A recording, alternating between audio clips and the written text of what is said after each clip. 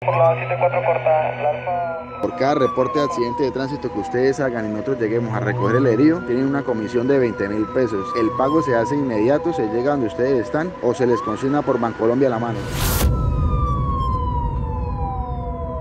Este es uno de los audios que circula por WhatsApp, en los cuales se habla del servicio de ambulancias que existen para transportar pacientes o personas heridas. El SOAT genera una ganancia para la empresa que transporte y lleve a una persona herida hasta un centro asistencial.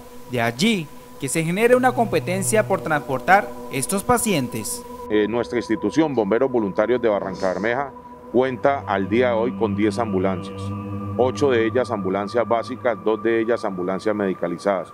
Todas estas ambulancias a la fecha hoy están habilitadas por parte de la Secretaría de Salud Departamental y por la Oficina de Habilitaciones del Departamento.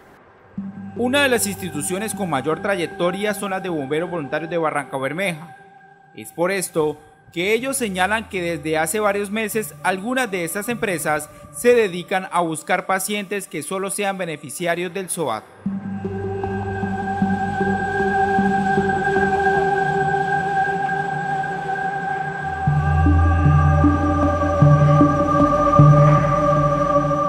Grupo de ambulancias o varios grupos más bien de ambulancias ilegales en nuestro distrito.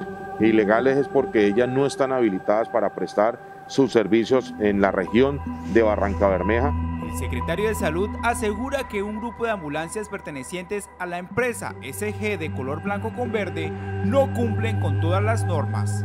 Eh, hemos visto que pues, hay una disputa al llegar frente a los accidentes que pasan en la ciudad. ¿Esas ambulancias tienen algún centro acá en la ciudad de Barranca Bermeja? Eh, no, llegaron ilegal. El hospital contrató un servicio de Bucaramanga y cuando vimos no solo para le estaban prestando el hospital, sino en la calle recogiendo, ya hablamos con el gerente del hospital para que esto no pase.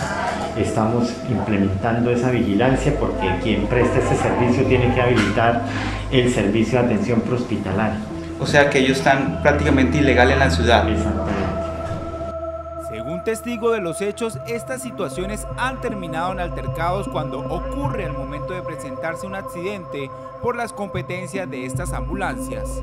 Normalmente estas personas llegan a chocar cuando hay accidentes de tránsito, eh, llegan, digámoslo así, a generar un mal ambiente diciendo que nosotros o nuestro personal está prestando un mal servicio cuando no es así.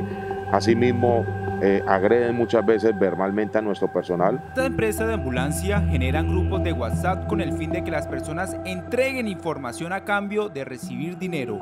Aquí un audio de ello por parte de la empresa SG. Mi nombre es Daniel Gutiérrez, soy coordinador de la empresa de ambulancia SG que llegó aquí a Barranca Bermeja. Este grupo es para reportar accidentes de tránsito. ¿sí? Por cada reporte de accidente de tránsito que ustedes hagan y nosotros lleguemos a recoger el herido, tienen una comisión de 20 mil pesos. El pago se hace inmediato, se llega donde ustedes están o se les consigna por Bancolombia a la mano. Este es uno de los audios que los usuarios envían sobre los grupos de WhatsApp que generan pagos por información de servicio de ambulancias para atender pacientes por SOAT en Barranca Bermeja. Ese teléfono me lo dio alguien y me dice que cuando necesiten ambulancia llamen ahí y ahí le dan a uno le dan a uno una remuneración por llamar a ese número y pedir la ambulancia. Es así como nos dimos en la tarea de buscar al secretario de salud local para que nos indicara del por qué estas ambulancias continúan en circulación y esto fue lo que nos respondió. Porque cuando tú ves una ambulancia circulando con un paciente no puedes establecer dónde fue el hecho. Tendríamos que llegar nosotros inmediatamente al, al sitio del accidente y verificar esta es una tarea. Por eso vamos a implementar el sistema de geolocalización para las ambulancias para poder tener el control de estos vehículos desde el Centro Regulador de Urgencias. Javier Orlando Rojas señaló que cuentan con sede administrativa pero deben dar oportuna atención a sus empresas afiliadas, por lo cual se ubican en puntos estratégicos. Nosotros tenemos un tiempo de reacción de 10 minutos a nuestro cliente. Tenemos la ambulancia ubicada en la, 40, en la 2448. Tenemos un cliente ubicado en la 25 con 48, ¿sí? donde hay presta servicio de diálisis y muchas veces se presentan descompensación de sus pacientes. Requiere un servicio inmediato de traslado a la IPS.